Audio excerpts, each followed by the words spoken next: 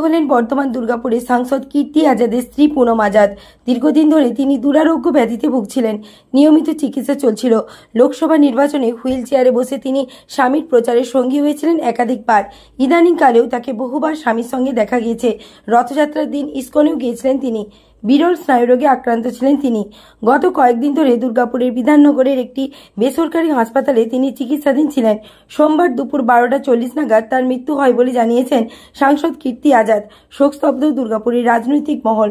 শোক জ্ঞাপন করেন রাজ্যের মুখ্যমন্ত্রী মমতা বন্দ্যোপাধ্যায় সহ রাজ্যের তৃণমূল নেতৃত্বরা। সাংসদের সঙ্গে বিভিন্ন জায়গায় গিয়ে তিনি সাধারণ মানুষের সঙ্গে যোগাযোগ করতেন। তাকে আপন করে নিয়েছিলেন দুর্গাপুরবাসী। তার মৃত্যুতে শোক জ্ঞাপন করেছেন তারা। শোক জ্ঞাপন করলেন দুর্গাপুর নগর নিগমের প্রশাসক মণ্ডলের চেয়ারপারসন অনিন্দিতা মুখোপাধ্যায়। আসানসোল দুর্গাপুর উন্নয়ন পর্ষদের চেয়ারম্যান কবি দত্ত, দুর্গাপুরের মহকুমা শাসক সৌরভ চট্টোপাধ্যায়, আসানসোলের দুর্গাপুর পুলিশ কমিশনারের ডেপুটি কমিশনার অভিষেক গুপ্তা, তৃণমূল শ্রমিক সংগঠনের জেলা সভাপতি অভিজিৎ ঘটক, তৃণমূলের জেলা সভানেত্রী অসীমা চক্রবর্তী সহ দলীয় নেতৃত্বরা। এদিন দুপুরে তার শেষকৃত্য সম্পন্ন হয় দুর্গাপুরের বীরভানপুর শ্মশানে। আসানসোল দুর্গাপুর উন্নয়ন পর্ষদের চেয়ারম্যান কবি দত্ত এবং প্রশাসক মণ্ডলীর চেয়ারপারসন অনিন্দিতা মুখোপাধ্যায় বলেন, খুবই বেদনাদায়ক ঘটনা। পুনম আজাদ বিহারের দক্ষ সাংগঠক ছিলেন। যেদিন থেকে দুর্গাপুরে এসেছেন তখন থেকেই তিনি অসুস্থ ছিলেন। আজ তার মৃত্যু হয়েছে। গোটা দুর্গাপুরবাসীর শোকাহত। পশ্চিম বর্ধমানে দুর্গাপুর থেকে নিমাই দাসের অ্যাকচুয়ালি যার লস মানে আমি কীর্তিদার কথা বলছি, যা সেই সবচেয়ে বেশি মানে আমরা তো ধরুন মর্মাহত, কিন্তু ওনার যে দুঃখ, ওনার যে যে গ্যাপটা হয়ে গেল, শূন্যতাটা হয়ে গেল এটা তো আমরা কেউ ভরাতে পারব না। তবে বৌদি ডেফিনেটলি আমি মিসেস আজাদের কথা বলছি। তো অ্যাকচুয়ালি উনি তো খুব বিদুষী মহিলায় ছিলেন, আমি যতটুকু শুনেছি, উনি খুব হাই ব্লু ব্লাডেড ফ্যামিলি থেকে ছিলেন।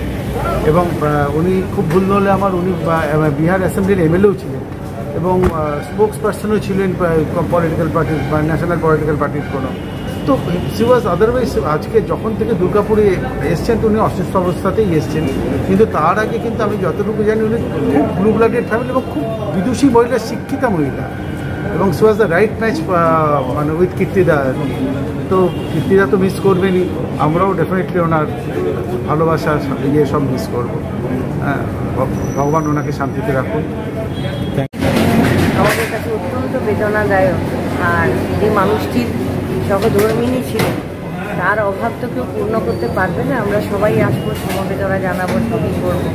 উনি অত্যন্ত মনীয়সী নারী ছিলেন, শুনেছি, আমরা তো কম দিনে দেখেছি। সাংসারিক জীবনেও যেরকম ছিলেন, সেরকম রাজনৈতিক জীবনে। এবং উনি রাজনীতির জগতেও ছিলেন এবং দাপুটের নেত্রী ছিলেন। আমাদের যেটুকু শোনার, এটুকুই বলব ওনার আত্মার শান্তি। আর ওনার জন্য, ওনার পরিবারের প্রতি আজাদ ভাইয়ার প্রতি আমাদের সকলের সমবেদনা রইল, শ্রদ্ধা রইল। তিনি যেখানেই থাকুন পুনামজি তার আত্মার শান্তি